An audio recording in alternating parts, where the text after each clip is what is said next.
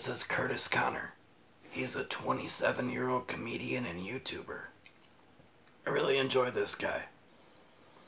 He does a lot of commentary and he's pretty funny.